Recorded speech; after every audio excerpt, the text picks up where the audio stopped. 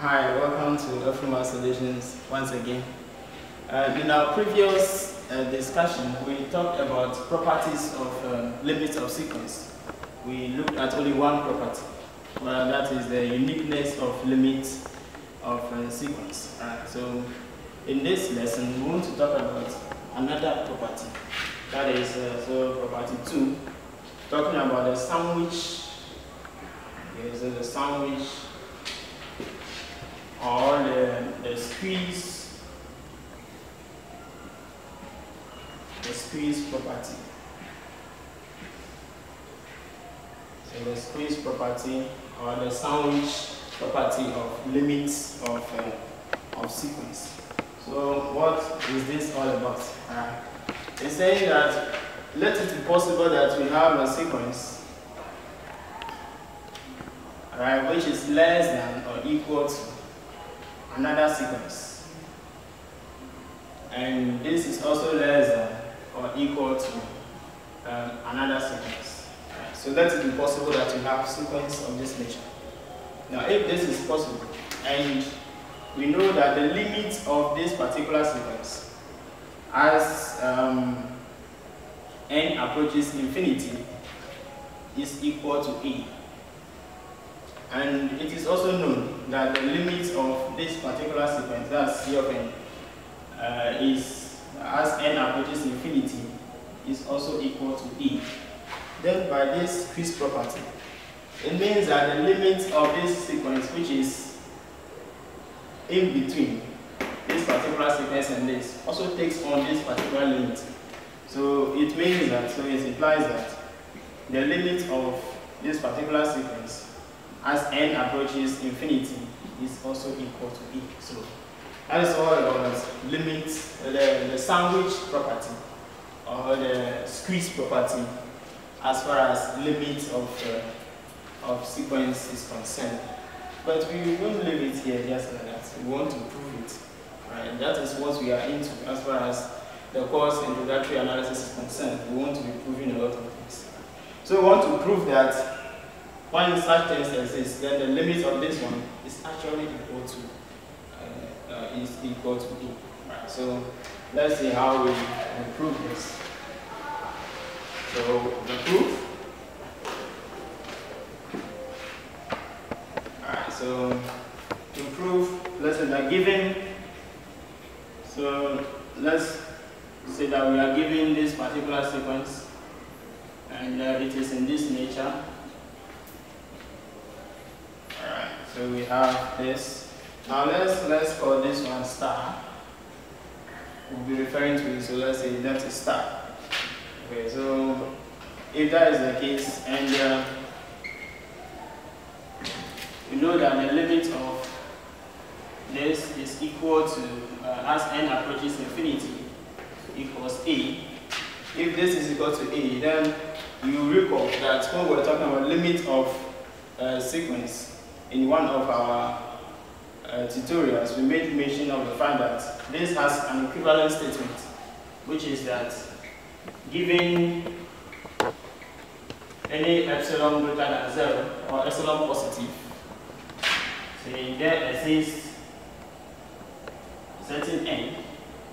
Alright, so we say that n1 uh, which belongs to the set of natural numbers um, such that for all n plus small n greater than n1, realize that the absolute, I so the absolute of the sequence minus its limit is going to be less than uh, epsilon. Similarly, when we come here, so still from star, we've talked about this one. These things are all given. Then let's talk about this one too. It's also given that the limit of C of n as n approaches infinity uh, is equal to E. And this equivalent statement, I guess as we did for uh, the, the, other limits, we're saying that given um, any epsilon positive, so that there exists, so we have n1, so now n2, there exists n2, uh, which belongs to the set of natural numbers uh, such that for all, so for all n, that's small n, um, greater than big N, so we have the big N, which is this two, the absolute of this uh, sequence minus its limits should be less than epsilon. Alright, so here we are having n1 and n2.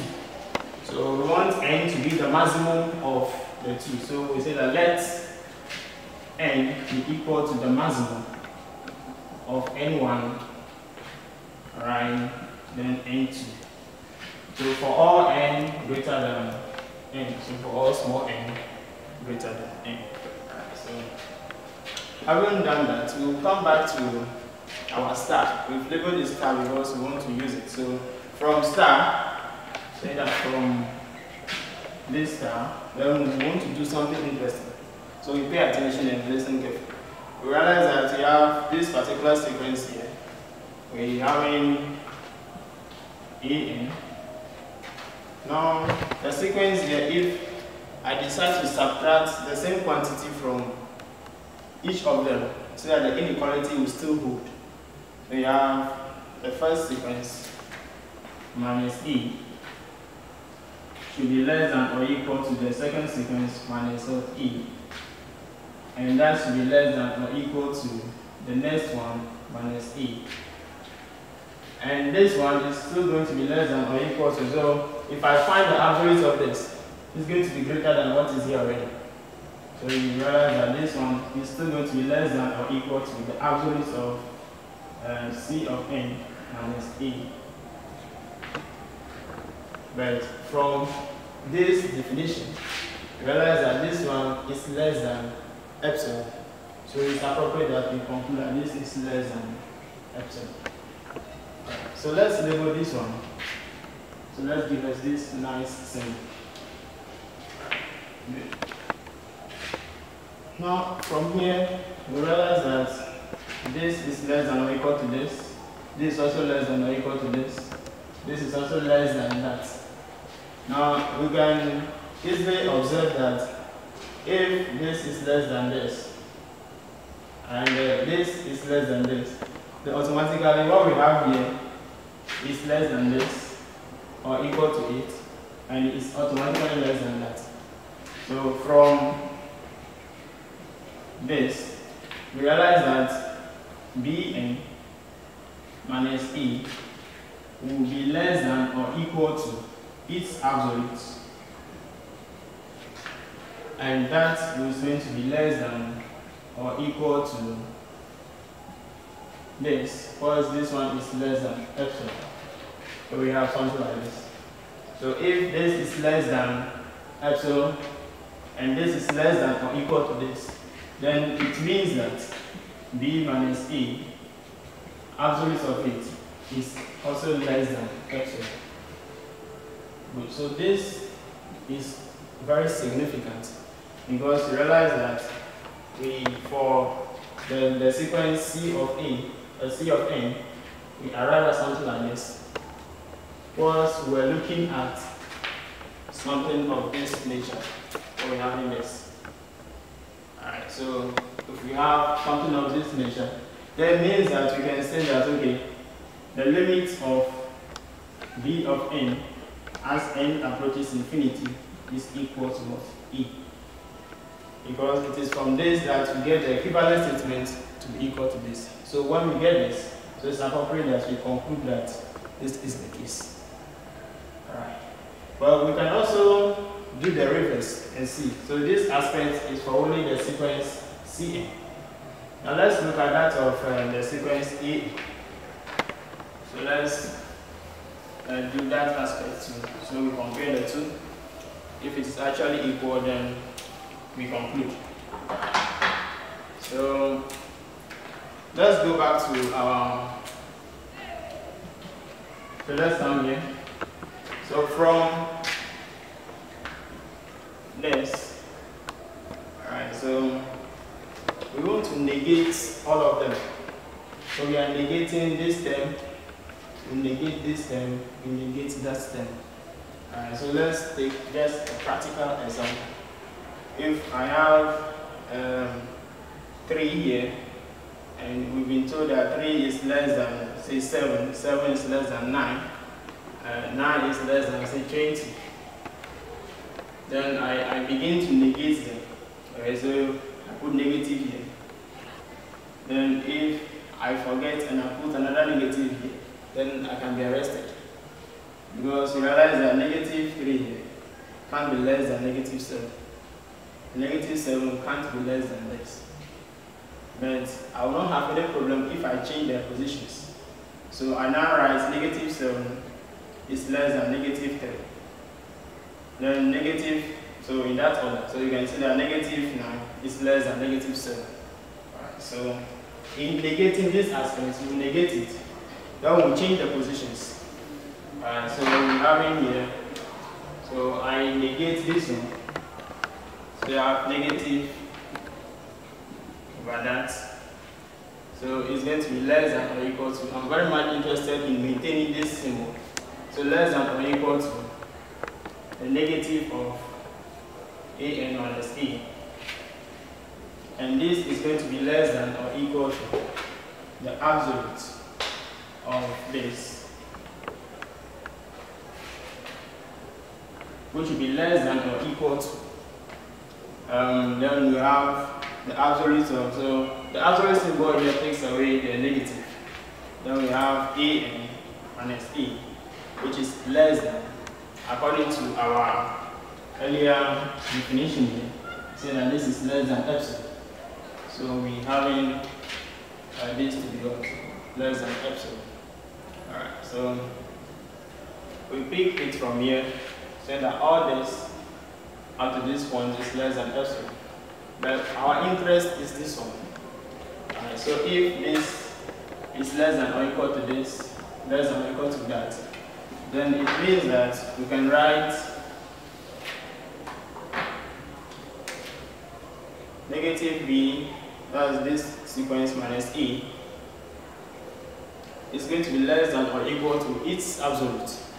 So you have the absolute of negative uh, b and so you have something like this n minus e and this is going to be less than or equal to. So here again, the negative is taken away by the absolute, and we have bn minus a. Alright, which will also be less than or equal to. So we come here and realize that at the end here we have the absolute of an minus e less than epsilon. So we follow the inequality.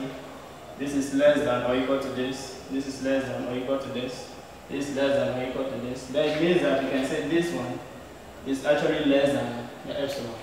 So from here we see that it, implies that the average of this um, is less than epsilon.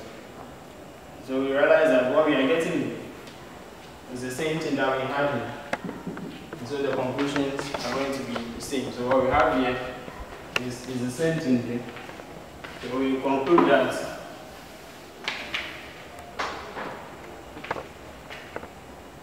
so therefore the limit of this particular sequence as n approaches infinity is equal to e.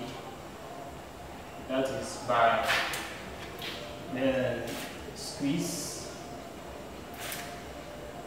or the sandwich property.